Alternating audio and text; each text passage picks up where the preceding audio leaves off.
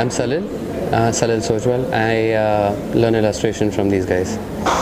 In fact, I stay away from defining what I normally do because I'm professionally trained to be a graphic designer, but uh, I have spent enough time in design as well as advertising. Um, I spent some time also writing. Uh, illustration is something that I try to do almost on a, therapeutic level, and it's something I enjoy a lot, and uh, I try to pass on that enjoyment to my students.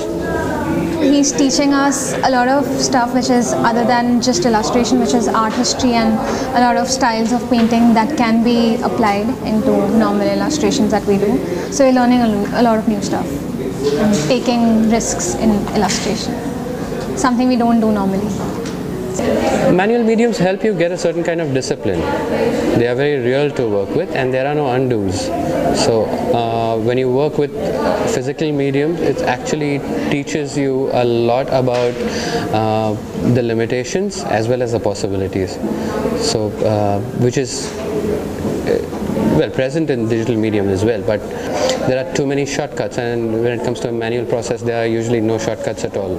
He doesn't want the rendering but he emphasizes more on the idea the idea behind the the final illustration the thinking he emphasizes more on that Illustration is seen as uh, something that is uh, either highly skilled or highly specialized, and I'm trying to open their minds out that it's not.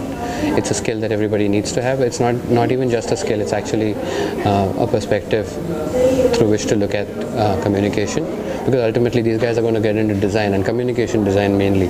So when uh, when they're studying illustration, I like for them to think about uh, how to communicate something with as much economy as possible. Um, and by economy, I mean um, it should be simple to understand, and communication should be simple and seamless. He'll give you a good feedback about your idea and if, if you're going through any problem with this with your like if you have an idea and you have a few problems in it so he'll help you understand it and take it into a different level altogether which makes it easier to do it final product's also better he gives a lot of space to the students. Like he gives a lot of importance to our individual ideas instead of what he has conceived of the brief. And uh, he goes through all our roughs before coming to the final. So even if the final is not up to the mark he gives certain importance to the roughs. Whereas most of the other faculties they say that the final is what you will be graded on and the roughs are not given that much importance. But then he takes an effort to go through all the thought process and all the roughs that is going on. Keep your eyes open, and don't be uh, don't be insulated. Don't live in a very small world where you focus only on one thing. Of course, focus on the things that are really special to you and matter to you the most.